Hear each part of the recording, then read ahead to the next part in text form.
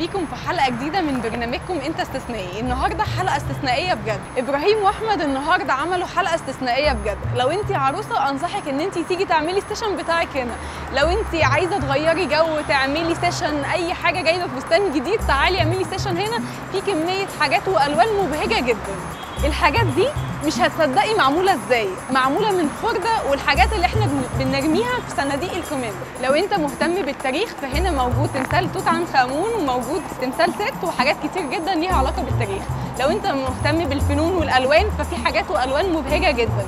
لو انت عايز أي حاجة تتماشى مع العصر ففي هنا كورونا فيروس. يلا بينا نشوف الحلقة دي.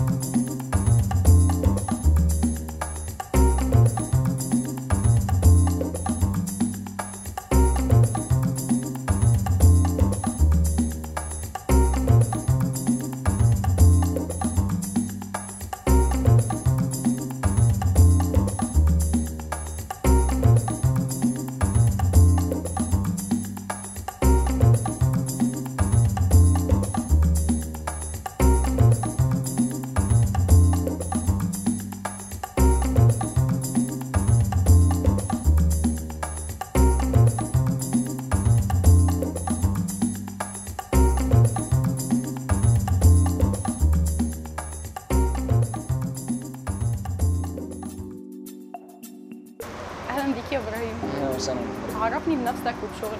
تمام. إبراهيم صلاح إبراهيم. أنا سني 27 سنة. آه، هوايتي النحت من فترة كبيرة يعني يعتبر من ست سنين. آه، خلصت فترة الجيش والكلام ده فابتديت أنميها وأطورها عن طريق الإنترنت آه، والمتابعة والممارسة. اشتغلت بخامه الجبس أول حاجة. كنت بصمم مجسمات معينة في البيت وابتدي أبيعها وأعرضها على ناس معينة. اشتغلت في أماكن كتير في مكاتب تبع الديكور آه، بصمم جداريات نحت. ابتديت أضم خامات تانية زي الأسمنت والكلام ده. فمع الحمد لله مع التطور والتمييز بقيت أضم أفكار جديدة وفن جديد ليا. أنا أحمد حسين مؤسس فريق Location View. آه، فكرة المكان هنا آه، ابتدت عندي من البيت. إن أنا كنت عامل البيت عندي آه، عامله ورشة وبحاول إن أنا أعيد فيه تدوير المخلفات الكاوتش والأزايز والحاجات دي.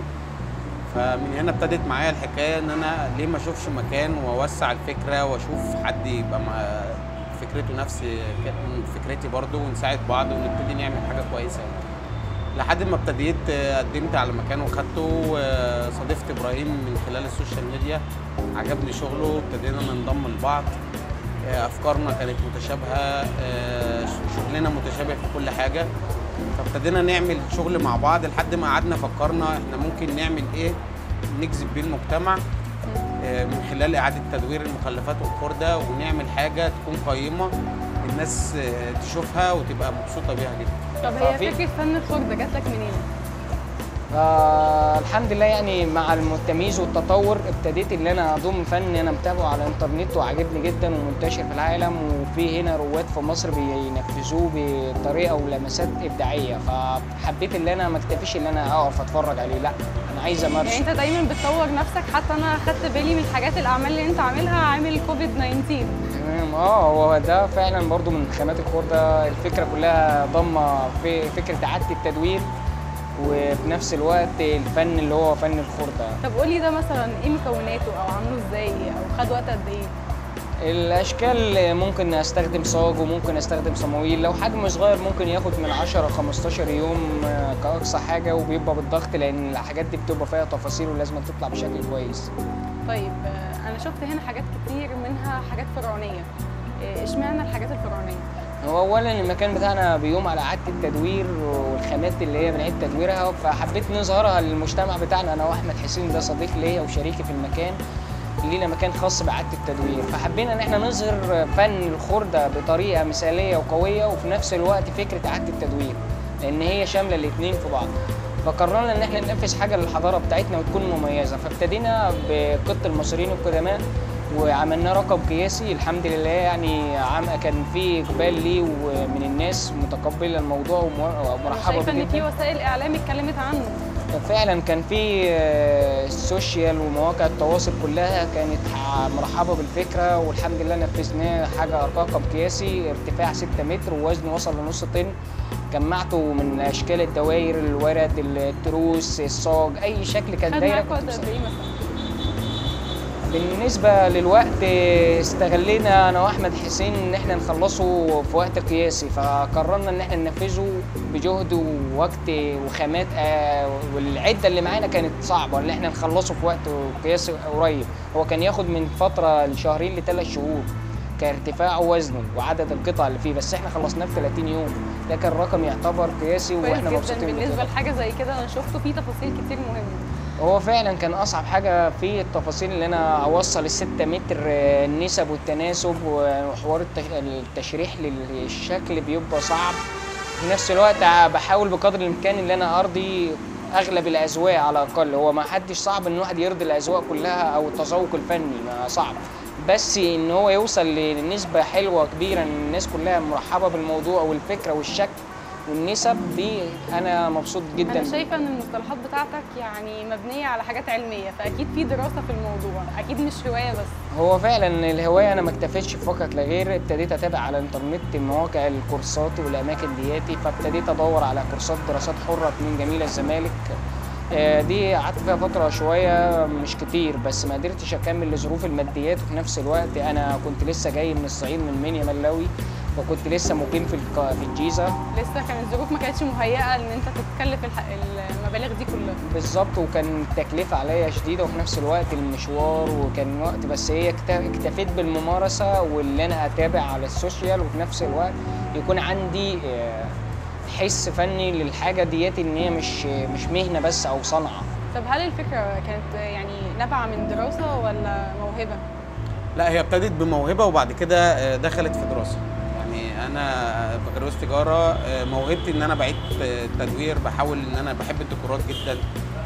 آه، فابتديت من النقطة دي إن أنا أبدأ أفكر إن أنا أعمل حاجة تكون الشارع يعني أختلط بالشارع أختلط بالمجتمع.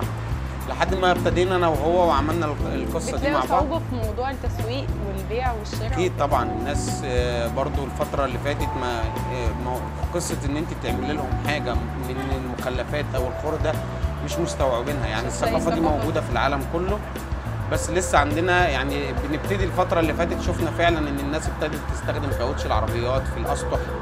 آه، هو في البداية لما بنيجي ننفذ الحاجة دي في المكان بتاعنا لما بنيجي ننفذها في المكان بتاعنا هنا والناس تخش تتفرج على الحاجات اللي إحنا بنعملها بس وأنا شغال فيها بتبقى لسه ما ظهرتش. آه. فالناس بتيجي بردود سلبية اللي هي أنت بتعمل إيه؟ هتستفاد إيه؟ يعني بعد ما تعمل القط ده هتستفاد إيه؟ إيه العائد المادي اللي هيعود عليك؟ بس بعد ما النتيجة خلصت وظهر وحطيناه في المكان واتعرض هي هي الناس اللي دخلت انتقدتني وكانت ردودها هي سلبيه أول ناس دعمتك هي أول ناس فعلا اتصورت جنب الشكل خلينا وانبسطت جدا. نقول مين اللي دعمك بقى ماديا أو فكري الحمد لله يعني إحنا كان معانا أكتر من مشكلة بتواجهنا بس الحمد لله يعني وزارة التنمية المحلية اتدخلت ووفر لنا مكان وأنا بشكرها جدا للجهود والمكثفة اللي وفروا لنا فيها المكان. وفي نفس الوقت ما جالناش ضرر كبير للشغل أو الحاجات بتاعتنا ووفروا لنا وهيئوا لنا بيئة معينة نقدر نعرض فيها منتجاتنا. ودي أنا مبسوط جدا بالخطوة دي إن بلدنا ابتدت تساعد الشباب وفي نفس الوقت الشغل ابتدى يظهر بالنور. فأنا الحمد لله يعني لحد كده آه، مبسوط جدا وحابب إن أنا يكون ليا دور ولو بسيط إن أنا أطور بلدنا وأظهرها بصورة مشرفة. يعني بتمنى الأعمال بتاعتي دي تتحط في ميادين آه، تنضاف للبيئة بتاعتنا في المجتمع بتاعنا سواء في الأماكن العمر العمرانية الجديدة المدن الجديدة. يعني التواصل الاجتماعي في ناس كتير بتتواصل معانا من خلال المواقع التواصل. آه، زائد إن إحنا لو في أي ايفنت بنحاول نشترك فيه. بحيث إن إحنا برضو نحاول إن إحنا نوصل الحاجة للناس كلها يعني. بتلاقي منه عائد ولا بالنسبة لكم بيبقى لسه والله لسه؟ هقول لحضرتك على حاجة موضوع العائد يعني إحنا تعبنا في موضوع العائد شوية لأن الناس لسه ما بتوصل لها الفكرة. آه. فبيبقى برضو لأن ال- ال- الخامات والماتيريال دي كلها مكلفة علينا. أكيد طبعا. آه فبيبقى الموضوع مش مستوعب إزاي أنا هشتري الحاجة دي بالسعر ده. صح لأن ف- هما بالنسبة لهم آه ده عندي منه في البيت أنا. آخده ليه بالثمن ده مم. فهي الفكرة كلها إن إحنا آه، مش فكرة مش فكرة مادية بس هو أي نعم لازم الفكرة المادية عشان خاطر نقدر في حتة نكمل من تحقيق الذات آه، اللي أنت آه، عايزها بس الشغف. هي الفكرة آه، آه، إن إحنا نبتدي نشتغل على ثقافة الشعب شوية نبتدي نعمل ورش عمل نعلم الأسرة كاملة مش الأطفال بس لا أنا ممكن هنا أعمل ورشة عمل للأسرة للأم والأطفال والأب كمان معاهم. إزاي يحولوا المخلفات بتاعة البيت لحاجة مستغلة إن هم يستغلوها في البيت؟ إزاي نستغل ال ال يعني إحنا عندنا ثقافة المصريين المخلفات والخردة دي فوق الأسطح كتير جدا آه. في البلكونات كتير جدا. فإحنا ليه ما نعملش من الحاجات دي حاجات شكلها كويس وفي نفس الوقت نستغلها تبقى تبقى خريطة عندنا في البيت شكلها جميل كده. الحاجات دي لها بتسوق شغلك إزاي؟ بيجي لك منه عائد مادي ولا الموضوع لسه بالنسبة للتسويق الحاجات إحنا بنعيد تدوير حاجات معينة صغيرة ننفع نبيعها للناس اللي هي الترابايز من كوتش العربيات والكراسي آه، مواسير السباكة بنحولها لأباجورات في ناس بت... يعني بتتقبل الموضوع ده ولا لا؟ هو في أماكن معينة فئات وفئات في فئة متقبلة الموضوع ومرحبة إن هي تكون في البيت في البيت وواثقة إن المنتج كويس ومعمول يدوي بقى يعني أهم حاجة المنتج إحنا بنعمله الحمد لله كويس وفي ناس بنحاول نقنعها وفي نفس الوقت بيجرب مرة فبيبتدي مرة في التانية يطلب مننا شغل تاني آه، كمطاعم كافيهات. الأماكن ديت هي اللي مرحبة أكتر بالشغل ده والمنتجات طب أنا شايفة في حاجات معمولة زي تنفع لسيشن أفراح وخطوبة وكده. هل بتلاقي عرايس متقبلة الفكرة وبتيجي تحجز ولا لسه هو عايز. الشغل؟ تمام. هو بالنسبة لمكاننا لما هي مع إحنا بنحول أي حاجة ملهاش قيمة لعمل فني. يكون صديق للبيئة أو عمل نقدر نستغله ونستخدمه في البيئة بتاعتنا. يعني ممكن نستخدمه في البيت فوق السطوح عندنا. فبنستغل الحاجات اللي هي في الطبيعة بتاعتنا اللي هي البيبان الكراسي القديمة كاوتش العربيات أي قطع الازاز البلاستيك بتاع المية الحاجات دي في موجودة في كل بيت وموجودة على طيب كل خلينا سطح نقول إن الحاجات دي أكيد أنت محتاج حاجات مخلفات بيوت ومخلفات آه، عربيات وحاجات دي. أنت إزاي بتجيب الماتيريال اللي بتشتغل بيه يعني؟ هو بيبقى فيه تعب شوية إن أنا بتجه للأماكن اللي بتجمع الخردة والأماكن والاشكال ديت ببتدي أختار الشكل اللي هقدر أهيئه لعمل فني يكون كويس وفي نفس الوقت ملوش ضرر فيما بعد وما يكلفنيش أكتر في الدهان كنت بنجي خامات معينة. آه الحمد لله الفكرة ابتدت تنتشر في ناس مرحبة بالموضوع في المنطقة هنا بيجيبوا لنا حاجات- معينة زي أزايز المية في ناس بتجمعها لنا وبيقولوا لنا إحنا نعمل إيه فبنضطر نعمل آه فقررنا أنا واحمد هي مش موضوع اضطرار بس لا إحنا قررنا أنا واحمد ان إحنا نعمل ورش. ورش تعليم مثلا آه تعليم إزاي آه يعني لأن الموضوع. ابتدى إيه فيه اقبال وترحيب من الناس جدا. فاحنا قررنا ان إحنا نعمل المكان هنا فيه جزء خاص بالورش ان إحنا نعلم الأطفال أو البيئة أو الأسرة كاملة زي الأطفال بأمها ووالدها مامتهم هم والمدارس يبقى عندهم الثقافة بتاعت إعادة التدوير ويطلعوا فن من أقل حاجة. بالظبط فقررنا خلينا جزء في المكان خاص بإعادة التدوير والورش ديت إن إحنا نعلم الناس الورش وإزاي يستغل يستغل الإزازة قصري الزرع ممكن عمل فني فانوس آه، ديكور الحاجات دي بتتعمل عايز تعمل إيه بعد كده؟ آه، أنا الحمد لله يعني بسعي نقطة كويسة وأتمنى إن ربنا يوفقني فيها إن يكون المكان ده أول معرض آه، وأكبر معرض لمجسمات ال- من الخردة من إعادة التدوير للحضارة بتاعتنا وفي نفس الوقت لأفكار مميزة لفن لدمج الماضي والحاضر الماضي والحاضر مع بعض. وبتمنى إن المكان ده يكون أول معرض لفن الخردة بأحجام كبيرة ومميزة للمصريين القدماء إن شاء الله بالتوفيق ونسمع عنكم خبر كويس وإن شاء الله تشتركوا في أحسن المعارض. ربنا يخلي حضرتك. كويس وإن شاء الله إن شاء الله هتلاقوا الفترة اللي جاية حاجات قوية إحنا عاملينها. إحنا خطتنا الفترة اللي جاية إن إحنا آه، نستهدف ميادين كتير في مصر. نقدر ن- نحولها لقطع فنية. وفي نفس الوقت حاجة آه، تبقى للشعب آه، دعم للشعب إن هو يستغل المخلفات والخرد إن شاء الله. شكرا.